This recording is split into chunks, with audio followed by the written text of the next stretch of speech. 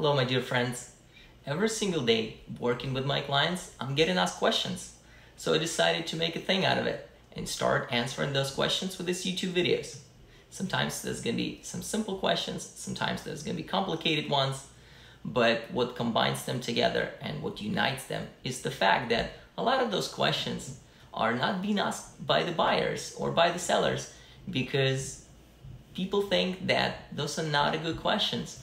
People sometimes are afraid to ask those questions. So I want to just burst this myth and start answering those questions for you guys so you could have the answers to them even without contacting anybody. Anyway, the first question that I'm going to answer is how long does it take for the seller to come back and respond to your purchase offer?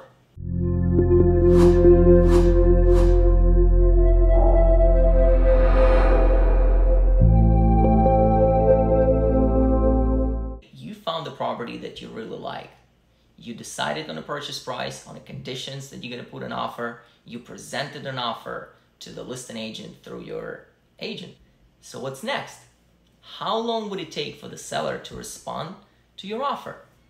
That's a great question and it's a nerve-wracking question that you need to know because you love this property and you want to get it. So how long does it take for the seller to respond?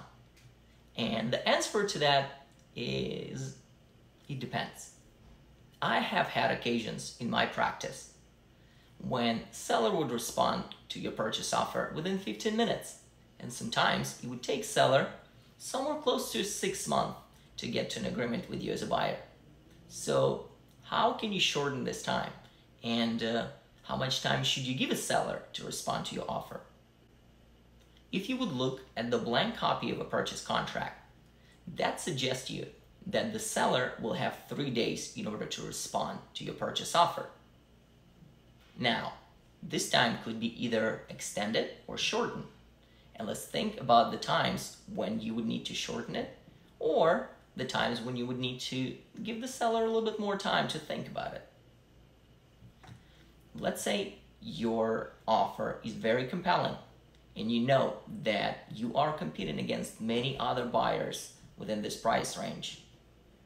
That might be in your interest to shorten the time frame that you are allowing the seller to respond to your offer.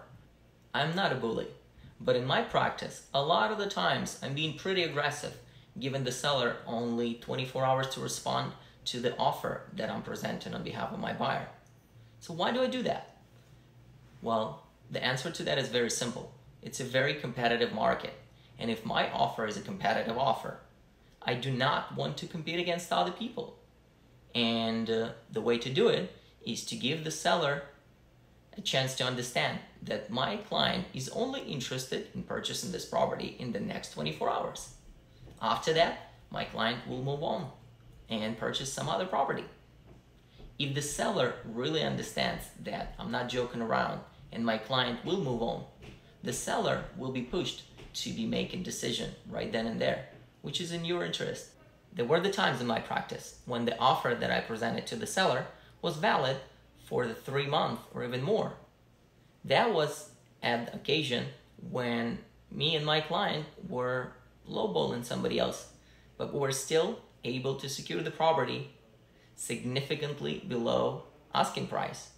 But in that particular case, our offer stood true for a significant amount of time. So that could be something that you could use if you are trying to get the property that might not be one of the common properties. That could be one of the unique properties that there's not that many buyers for.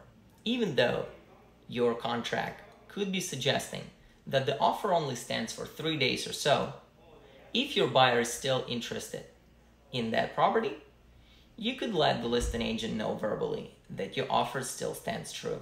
In the end of the day, it doesn't really matter how long does it take for the seller to respond to your offer. What matters is the result. And the result should be the acceptance of the offer that you have presented. The rest are the details that I would take care of. Let's just talk about your particular situation and decide what is it that's going to make your offer stand out and uh, put the seller in a position to jump on a phone with the listing agent and sign that purchase offer right then and there.